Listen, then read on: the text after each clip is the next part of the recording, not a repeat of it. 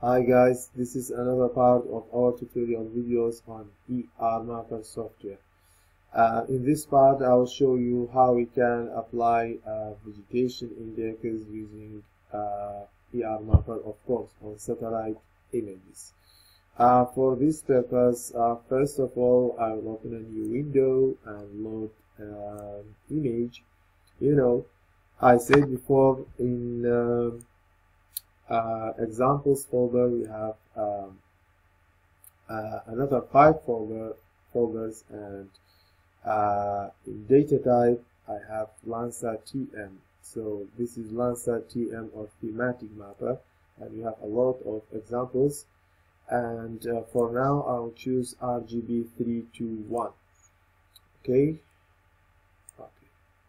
so this is uh, an RGB image with 3 to 1 color composition and to performing NDVI, uh, NDVI by the way is the abbreviations of normalized uh, differences vegetation in, uh, index.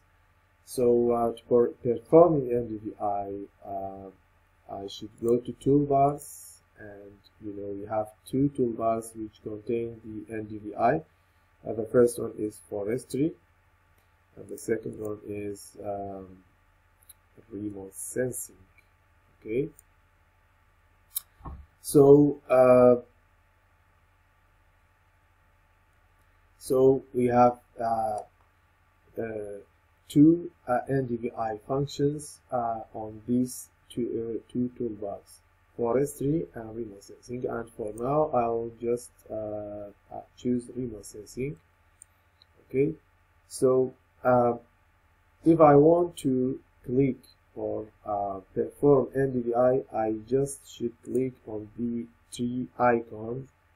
Is highlight vegetation on remote sensing toolbar you know?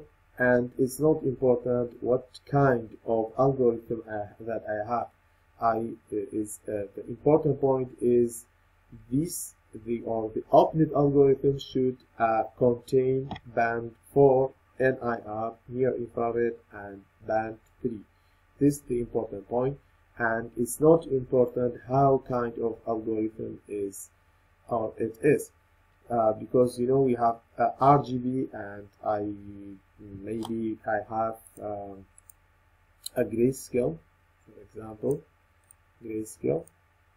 So I will perform uh, NDVI on the both images or both type of algorithm. So for the first one, I'll activate and I'll click on NDVI or highlight vegetation. Is you know highlight vegetation button on the on ER mapper is the button which um, you know supported with NDVI uh, vegetation index okay?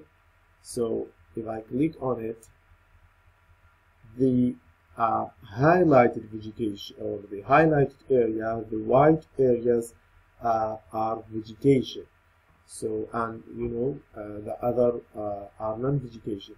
So uh, this is the result of NDVI and if I click on the grayscale algorithm and click on highlight vegetation same thing will appear because uh, they are uh, same image uh, for same uh, area.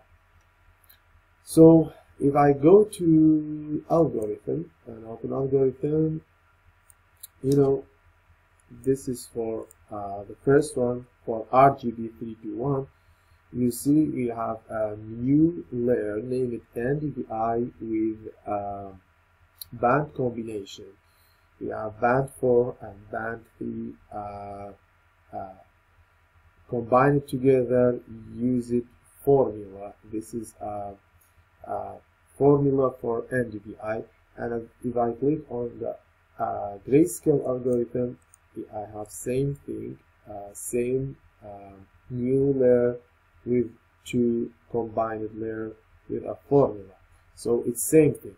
We have uh, we, can calling it uh, an automatic way for highlighting vegetation, uh, highlight vegetation uh, in ER Mapper, and also I have a manual way to uh, by uh, write down the formula inside edit formula or formula editor. So uh, if I go to this icon it's E equal to mc squared edit formula or formula editor or uh, I have same icon on the uh, common functions. Edit formula is same thing. You know this is edit formula window. Um, in the first section you know we have uh, a formula. This is the uh, default formula of NDVI uh, I1 minus I2 divided by I1 plus I2 I1 is input 1 is band 4 or NIR and band 2 is band uh, uh, sorry input 2 is for band 3 or red okay red band. In uh, of course Landsat thematic mapper. Or uh, these two bands should have these wavelengths okay 0.83 and 0.66 micrometer so uh, what if I put or write this equation manually? It's thing okay? Uh, I'll close this one close this one and this one. And I'll open a new window with a new image. And if I want to uh, write uh, or applying the NDVI manually I should uh, choose a grayscale okay grayscale algorithm not an RGB because we have uh, another uh, type of algorithm for the same area. But I should choose a grayscale if I want to uh, input NDVI manually. So I'll choose this one and go to formula editor right here or here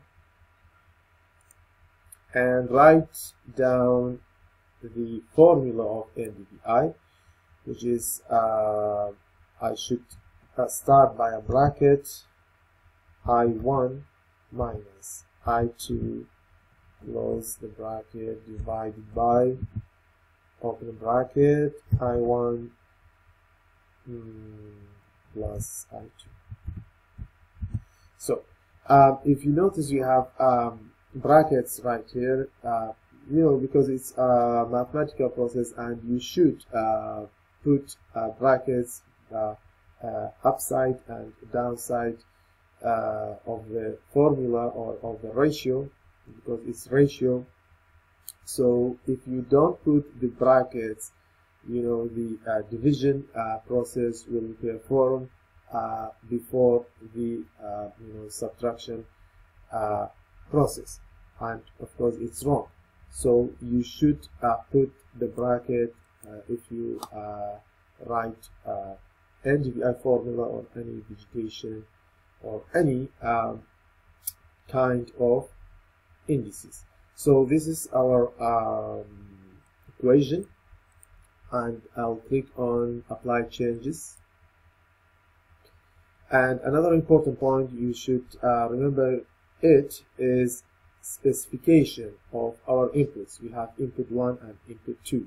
In input 1 you should select band 4 and in input 2 you should uh, you should select a band 3 okay uh, and if you notice uh, if after I uh, selecting or specifying the input 1 and input 2 uh, the apply changes is not active so I should uh, click here and uh, you know type a space on a keyboard you know apply changes uh, now is active. So I'll click on apply changes. Now is ready. And this is a result of NDVI uh, you see a black screen or a black window. It's normal. You should go to edit transform limits. This icon or this button and go to limits and choose limits to actual? There we go. And also choosing these templates. Okay. So now this is the same result of uh, NDVI but uh, I just uh, writing it manually. And we have also uh, ready uh, button for NDVI or for highlighting vegetation. So, uh, you know, uh, the NDVI um, result or output should contain a value from uh, minus 1 to 0, 1, uh, to, to plus 1. Uh, so if you check the values,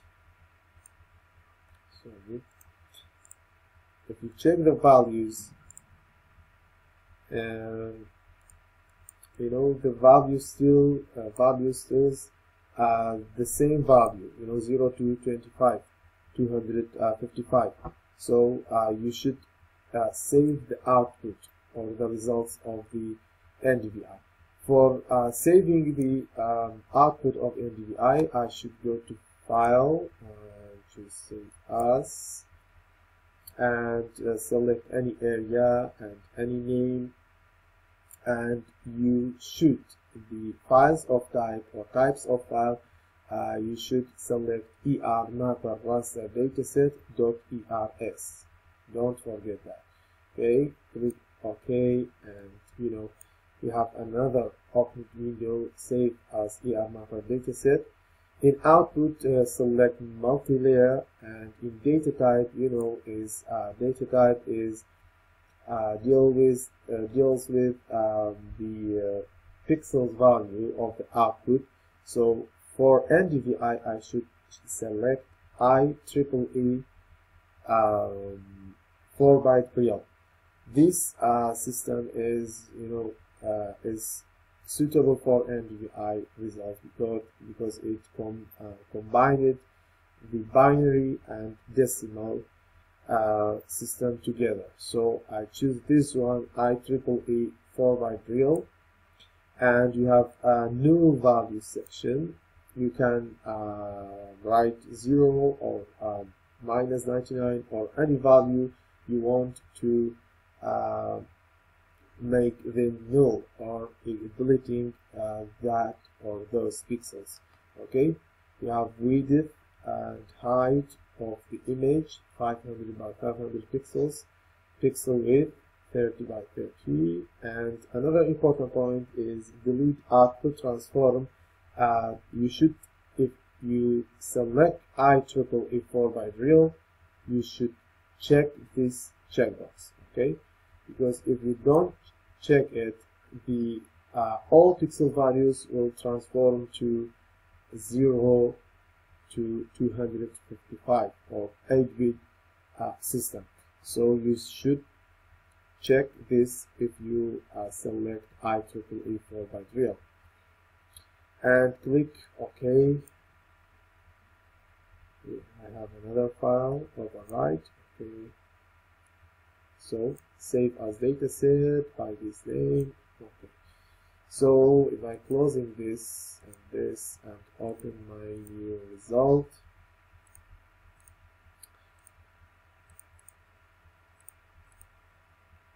NDVI test or test NDVI there you go. This is my new image or uh, the results of the NDVI and if I check uh, the values. You see I have the values or value range from minus 1 to 0 1 or 0 and to plus 1 okay so this is the result of NDVI and uh, you can perform it uh, on any satellite image um, either using the uh, automatic way and or uh, writing down the formula uh, manually